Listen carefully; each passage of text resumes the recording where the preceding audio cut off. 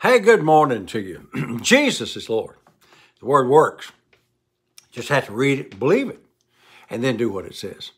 Yesterday, I started talking to you a little bit about the first miracle, the first miracle that we find in the ministry and the life of Jesus. The importance of this is what sets the precedent of things to come.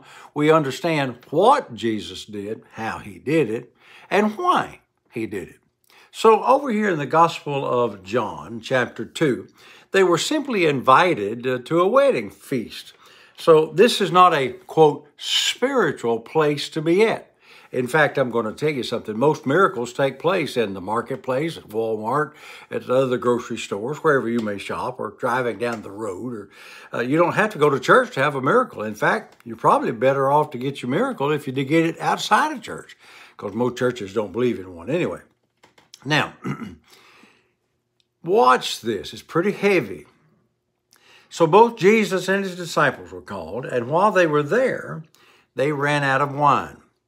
And when Jesus uh, wanted wine, and when they wanted wine, the mother of Jesus saith unto them, unto him, to Jesus, they have no wine. So this is a miracle of opulence. This is not a need. This is not a healing. This is not a, uh, a spiritual thing. In fact, didn't cause anybody to get born again. Uh, didn't cause anybody to come to God. Uh, you know, nobody got healed of some incurable disease. So this is a, a miracle of opulence. The first miracle, get this, the very first miracle is a miracle of God doing exceeding abundantly above all that you could want, need, or desire. So your desires are important. Now, I'm going to make a statement here that makes religious folks mad. So Mary came to Jesus and said, They have no wine.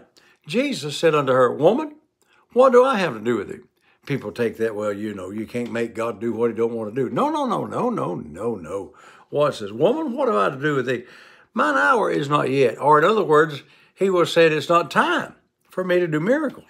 But she made a demand on God and God's timing and got her miracle that day. And it was a miracle of extreme opulence. You don't have to have no wine.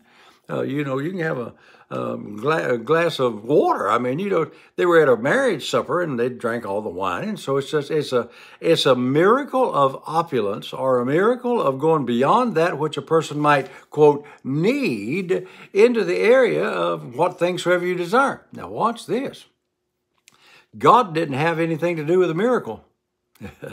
Jesus, God, being there, he didn't say, "Well, you know, they ain't got no wine. I need to give them something." No, Mary did. Mary decided what they wanted. Now, watch, I'm going to make a statement. Mary decided what it was they were going to have. Mary decided when it was they were going to have it.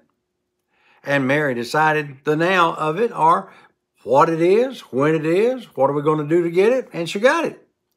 See, you are the one that decides what you want, and God grants you the desires of your heart.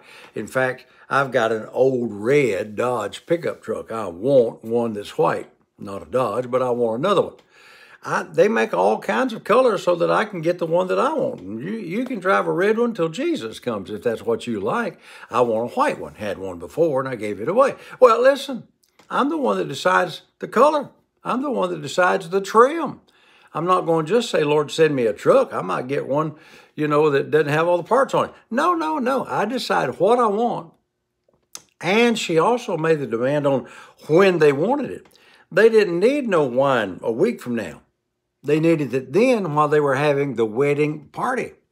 So you decide the, the where, where they were having the party. You decide the what, wine that they needed at the party. And you decide the when, now, while we're at the party.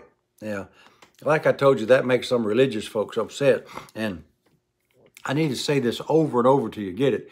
The first miracle that Jesus did was a miracle of opulence. In other words, what he's saying is, there's nothing too big for me. I mean, it may be a set of tires for your red pickup truck. It may be to get the red pickup truck repaired. I had to do that.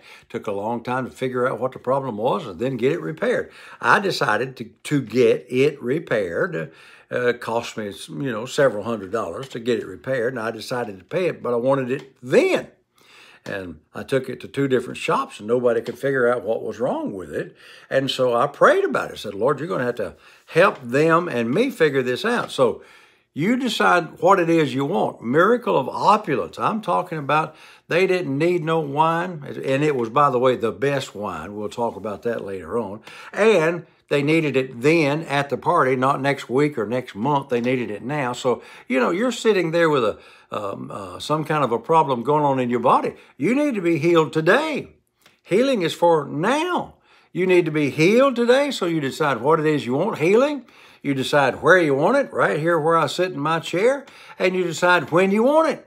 That's the first miracle that Jesus did. Mary chose the where, the what, and the when. Well, Frank is choosing the where and the what and the when he's going to have his miracle, and so are you. So the first miracle that Jesus did was with you on his mind. So until I'm with you tomorrow, Saints, remember, hey, Jesus is Lord. Thank God the word works.